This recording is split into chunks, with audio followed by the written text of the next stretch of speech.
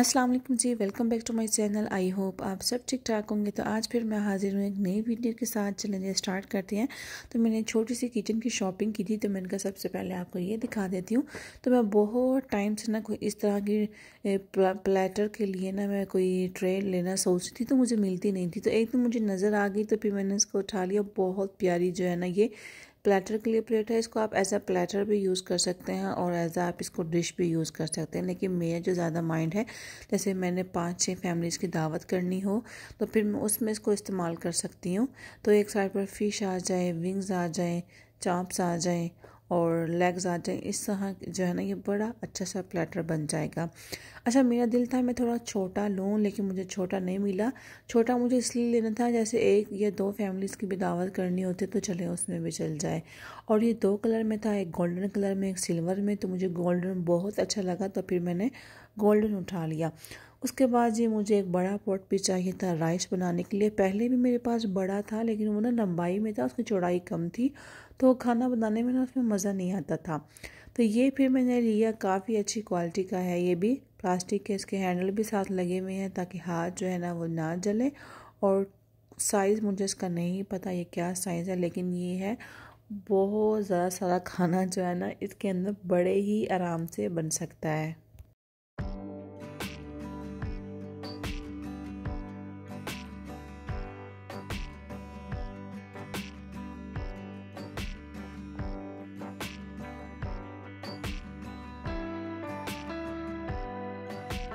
उसके बाद जी मैंने एक ये चॉपिंग बोर्ड लिया वुडन का, ये मैं अभी काफ़ी टाइम से लेना इसको सोच रही थी।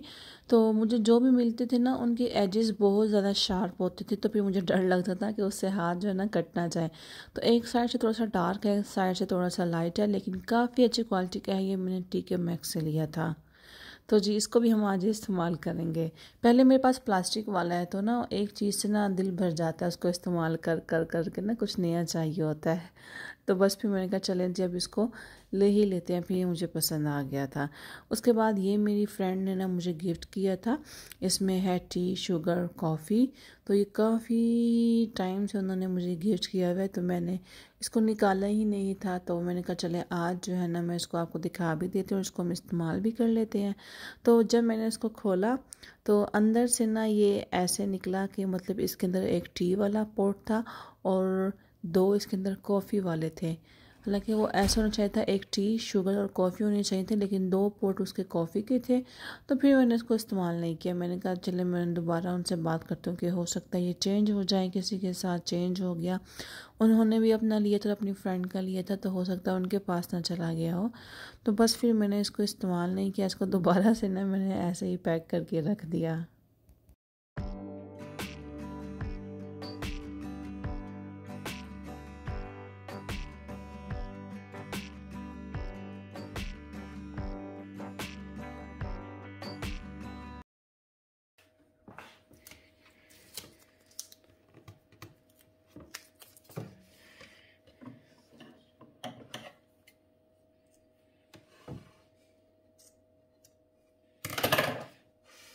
तो मुझे बनाना था, अभी खाना तो मैंने कहा चलें इसको अभी के अभी जो है ना इस्तेमाल कर लेते हैं।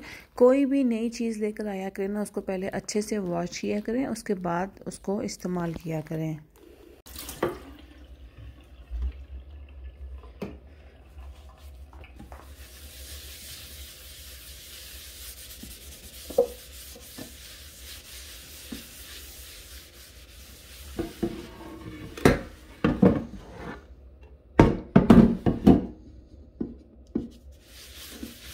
इसका स्टिकर उतारने की मैं कोशिश कर रही थी, वो नहीं उतर रहा था तो मैंने कहा, चले, मैं इसको फ़िलहाल दूसरी साइड से इस्तेमाल कर लूँगी। दो तीन दफ़ा ये वॉश होगा ना तो फिर स्टिकर इसका जो है ना, वो खुद ही आराम से उतर जाएगा। और मेरा सिंक छोटा है और ये मेरा बोल जो है ना, वो बड़ा है। तो बस फिर मुझे इस तरह हाथ से इसको पानी डाल डाल कर ना वॉश करना पड़ रहा था।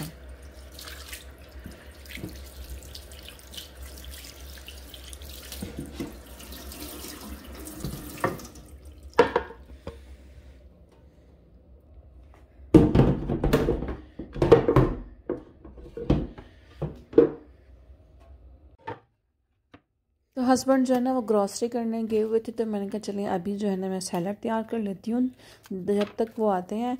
तो यहाँ पर खीरे जो है ना, इस तरह की पैकिंग में मिलते हैं। तो किसी अच्छी से अच्छी शॉप में जाएँ या आप नॉर्मल शॉप में जाएँ, आपको जो है ना, खीरे ऐसे पैकिंग में ही मिलेंगे। बस फिर मैंने खीरे को अच्छे से वॉश कर लिया। पहले तो मैं ऐसे करती हूँ कि सारी मैं कटिंग करके फिर उसके बाद वॉश कर लेती हूँ। और कभी कभी पहले ही वॉश कर लेती हूँ डिपेंड करता है कि जैसे आपका मूड है, बस आप उसको वैसे ही जो है ना कर ले। तो मैं सलाद बना रही हूँ बिल्कुल छोटी छोटी सी मुझे कटिंग करनी है राइस के साथ इस्तेमाल करनी है। अच्छा सैलड मुझे तो इंतहा की सैलड पसंद है ना, मुझे आप जितनी मर्ज़ी सैलड देते मैं बहुत शौक से खाती हूँ।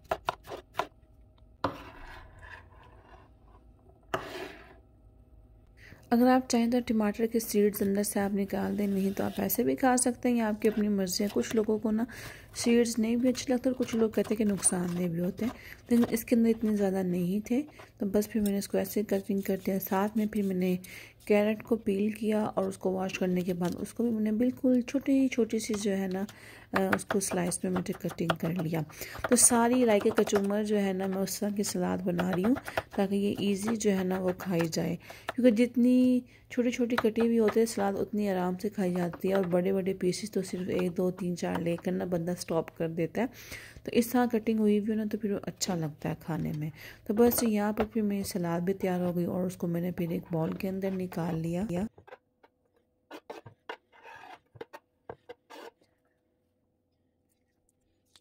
थोड़ा सा उसके ऊपर मैंने डाल दिया लेमन और उसके बाद मैंने फ्रिज खोलना तो मुझे रेड पेपर नज़र आया तो मैंने कहा तो सलाद के अंदर काफ़ी अच्छा लगता है। फिर मैंने उसको कटिंग करके अलग से फिर मैंने वो उसके ऊपर डाल दिया। सैलड मेरा तैयार हो चुका था, फिर मैंने कहा कि चले अभी मेरे पास टाइम है, मैं चटनी बना लेती हूँ। अच्छा यहाँ पर पुदीना हो या धनिया तो इस तरह पैकिंग में आता है। ऐसे रबर के साथ ना उन्होंने उसको बांधा हुआ होता है। तो जी, बस फिर मैं यहाँ पर पुदीना अच्छे से साफ़ कर लूँगी और उसके बाद मैं बनाऊँगी इसकी चटनी और मैं आपको दिखाती हूँ कि मैं चटनी में क्या क्या इस्तेमाल करती हूँ।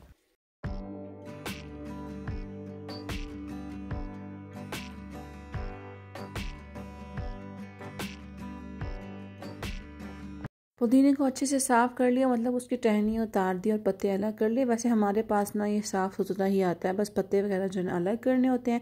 और पाँच जो है मैंने ग्रीन चिलीज़ ले ली हैं और तीन जो है मैंने टमाटर ले लिए हैं। तो मैं पुदीने को अच्छे से वॉश कर लूँगी ताकि इसके अंदर से मट्टी वगैरह जो है ना वो निकल जाए।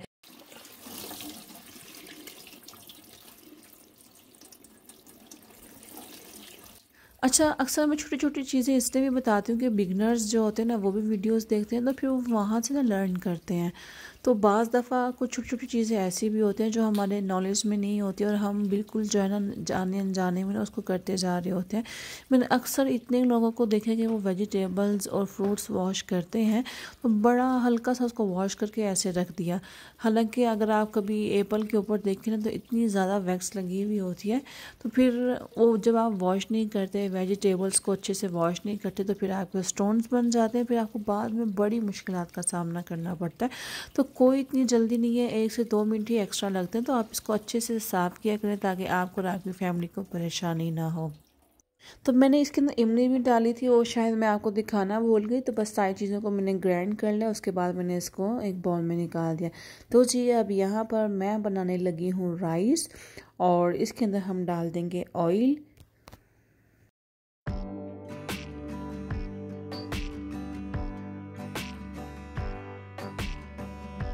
तो मुझे बनाने थे ज़्यादा सारे राइस और बना कर ना मुझे कहीं पर भेजने थे। तो यहाँ पर मैंने तकरीबन मीडियम तीन प्याज ले लिए हैं, उनको बारीक बारीक कटिंग कर लिया था। जब ऑयल गर्म हो गया तो फिर मैंने उसके अंदर प्याज डाल दिए और अब जब ये लाइट ब्राउन हो जाएँगे तो फिर हम इसके अंदर बाकी दूसरी चीज़ें ऐड करेंगे। तो जब तक मेरे प्याज ब्राउन हो रहे थे तो मैंने यहाँ पर एक प्लेट में सारे खड़े मसाले डाल दिए। चार जो है मैंने उसके अंदर बड़ी इलायची लिए हैं, सात से आठ मैंने काली मिर्च ली है, पाँच से सात जो है मैंने लौंग ली है और कड़ी पत्ता लिया है। साथ में मैं एक से दो जो है ना दालचीनी की स्टिक डाल दूँगी। अच्छा यहाँ पर प्याज ब्राउन हो गए थे, फिर मैंने उसके अंदर टू टेबल स्पून जो है अदरक, लहसुन का पेस्ट शामिल कर दिया। एक से दो मिनट के लिए हम अदरक, लहसुन के पेस्ट को प्याज के अंदर भुनाई करेंगे और उसके बाद जो है ना हम चिकन को इसके अंदर डाल देंगे। चिकन को भी मैंने वॉश करके रखा हुआ है ताकि उसका पानी जो है अच्छे से ड्रेन हो जाए। उसके बाद ही मैंने इसके अंदर चिकन डाल दिया और चिकन के साथ ही जो है मैंने खड़े मसाले भी मैंने इसके अंदर ऐड कर दिए ताकि दोनों चीज़ें जो है ना इकट्ठे मिक्स हो जाएँ। यहाँ पर हम चिकन की थोड़ी सी भुनाई करेंगे ऑयल के अंदर ताकि जो चिकन है ना उसका कलर थोड़ा सा चेंज हो जाए।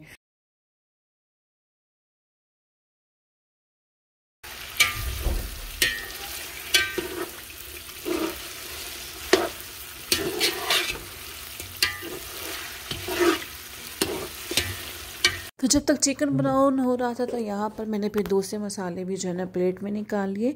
तो टू टीस्पून जो है मैंने टू नहीं two and half teaspoon जो है मैंने जीने कर लिए हैं और टू टीस्पून ही मैंने इसके अंदर डाल दिए हैं। लाल कुटी हुई मिर्च। अच्छा पुलाव के अंदर जो है ना, मैं कभी भी सुरख मिर्च का इस्तेमाल नहीं करती हूँ। या तो ये कुटी हुई मिर्च जाती है, सब्ज़ मिर्चें जाती हैं या काली मिर्च जाती है। उसके बाद ये नमक आपने अपने टेस्ट के हिसाब से ऐड कर लेना। फ़िलहाल मैं थोड़ा ही ऐड करूँगी। एंड पर जाकर जो है ना, मुझे ज़रूरत हुई तो फिर मैं और डालूँगी। थोड़ा सा मैं इसके अंदर इस्तेमाल कर रही हूँ बिरयानी मसाला। और यहाँ पर मेरे पास जो है ना, धनिया पाउडर ख़त्म हो गया था तो बस फिर मैंने इसको हाथ से ही ऐसे क्रश करके इसमें डाल दिया तो वो ख़ुद ही जो है ना, इसके अंदर जाकर मिक्स हो जाएगा। तो सारे मसाले डाल दिए, मसाले इसने इस टाइम पर डालें ताकि ये ऑयल और चिकन के साथ अच्छे से जो है ना मिक्स हो जाए, कच्चेपन की इसके अंदर स्मेल ना आए। तो जब तक ये कुक हो रहा था साथ साथ जो है ना मैंने टमाटर और ग्रीन चिली का पेस्ट बना लिया था, क्योंकि काफ़ी ज़्यादा जो है ना शाम हो गई थी और मुझे खाना जो है ना जल्दी जल्दी से बना कर भेजना था। तो इसलिए अगर मैं टमाटर ऐसे ही डालती तो थोड़ा टाइम जो है ना वो ज़्यादा लग जाता। तो पेस्ट यहाँ पर निकल ही नहीं रहा है, उसका दिल ही नहीं कर रहा है मसाले के अंदर जाने का। अच्छा फिर मैंने उसको हिलाकर दोबारा से निकाला। तो मैंने इसके अंदर डाले थे दो टमाटर, बड़े और साथ में मैंने सात से आठ जो है ना ग्रीन चिलीज डाली थी। फिर मुझे टमाटर ना थोड़ा सा कम लगा तो फिर मैंने इसको एक ऐसे ही साबुत टमाटर डाल दिया कि चलिए मसाले के अंदर ना खुद ही मिक्स हो जाएगा। तो बस ये अब यहाँ पर हमने अच्छे से जो है ना इसकी भुनाई करनी है। जितनी अच्छी आपकी भुनाई होगी, खाना उतना ही अच्छा बनेगा।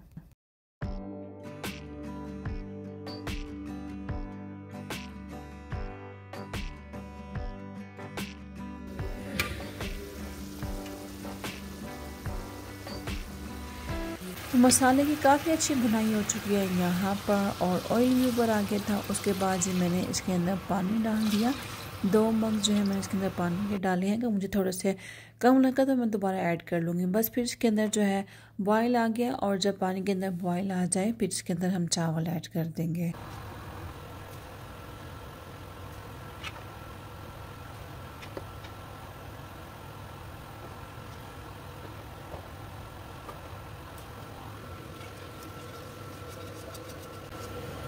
बस फिर जब चावल डाल दें तो आपने उसके अंदर बार बार जो है चम्मच नहीं हिलाना नहीं तो आपके चावल जो है ना वो टूट जाएँगे और खिले खिले नहीं बनेंगे।